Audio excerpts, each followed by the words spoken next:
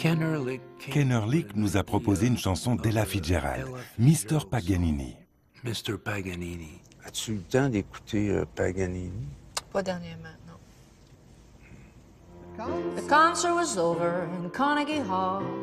The maestro bow after bow. Céline aime le jazz et nous savions qu'elle pouvait la faire, mais elle ne l'avait pas répété. rehearsing, Sorry, it's all Nous doutions du résultat.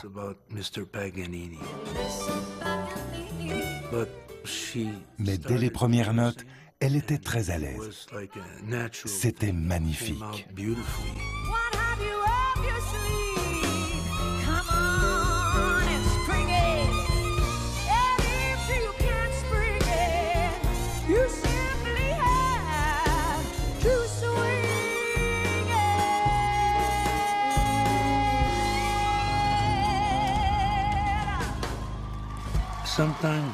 Nous ne sommes pas toujours d'accord.